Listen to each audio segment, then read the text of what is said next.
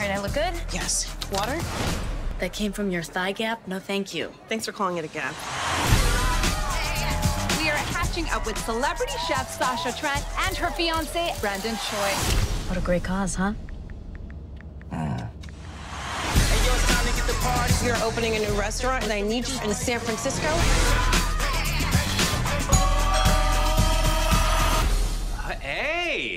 Hi, Marcus. Yeah, hi, Sasha. Hi. Hello. Hi. Long time.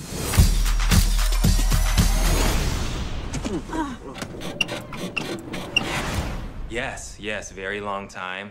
What's up? Sasha Tran! Mr. Kim. You're like our own Asian Oprah. How much money do you have now? He's serious. Oh. I'm surprised you two lost touch. You used to be so close. So, when's the big wedding day? He wants to travel a bit before we settle down. It's really for the both of us. I finally realized that I don't want to get married. Are you kidding me? You're a piece of shit! I can tell you're a little. I hope you get malaria and shit yourself to death, you shitty piece of shit! A little softer, please. You are scaring the goats.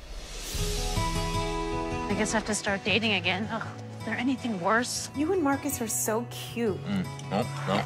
Remind me why you never got together? There's way too much history there. Oh, Yeah.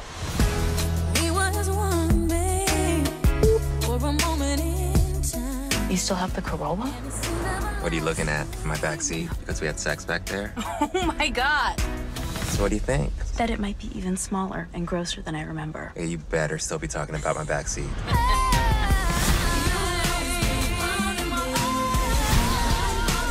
You don't want to wonder what if. Tell her how you feel, son. I have some news. So do I. It's big. Mine's big too.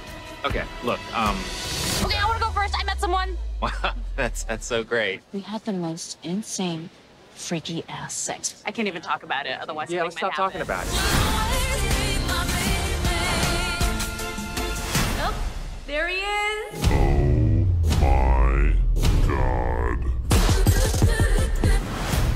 Baby. I missed your flesh. I missed your thighs. I missed your beard scratching my thighs. I missed your taste. I missed your thumbs. You're so good with your thumbs.